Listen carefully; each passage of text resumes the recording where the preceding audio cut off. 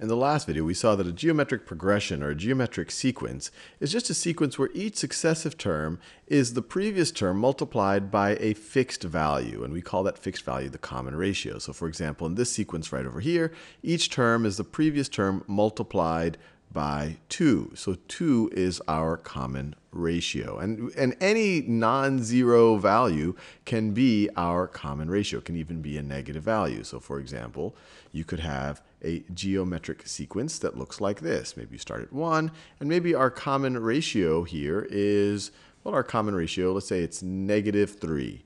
So 1 times negative 3 is negative 3. Negative 3 times negative 3 is positive 9. Positive 9 times negative 3 is negative 27. And then negative 27 times negative 3 is positive 81. And you could keep going on and on and on. What I now want to focus on in this video is the sum of a geometric progression or a geometric se sequence, and we would call that a geometric series. So let's scroll down a little bit. So now we're going to talk about geometric geometric series which is really just the sum of a geometric sequence. So for example, an exa uh, a geometric series would just be a sum of this sequence. So if we just said 1 plus, we do that same color. If we said 1 plus negative 3 plus 9 plus negative 27 plus 81, and we were to go on and on and on, this would be a geometric series. And we could do it with this one up here just to really make it clear of what we're doing. So if we said 3 plus 6 plus 12 plus 24 plus 48, this once again is a geometric series, just the sum of a geometric sequence or a geometric progression. So how would we represent this in general terms and maybe using sigma notation? Well, we'll start with whatever our first term is. And over here, if we want to speak in general terms, we could call that A, our first term. So we'll start with our first term, A. And then each successive term that we're going to add is going to be A times our common ratio. So, and we'll call that common ratio R. So the second term is A times R. Then the third term, we're just going to multiply this one times R. So it's going to be A times R squared. A times R squared. And then we can keep going. Plus A times R to the third. A times r to the third power.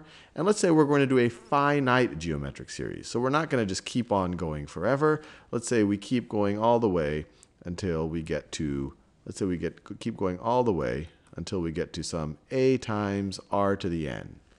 a times r to the nth power. So how can we represent this with sigma notation? And I encourage you to pause the video and try it on your own. Well, we could think about it this way. We could think about it this way. And I'll give you a little hint. You could view this term right over here as a times r to the 0. And let me write it down.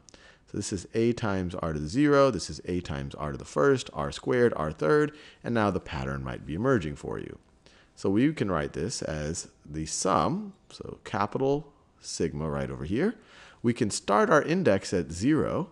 So we could say from k equals 0, this a, from k, this in a different color, from k equals 0, from k equals 0 all the way to k equals n, all the way until k equals n, of a, a, that same color, of a times r, I'm having trouble with colors today, a times r to the kth power, to the kth power.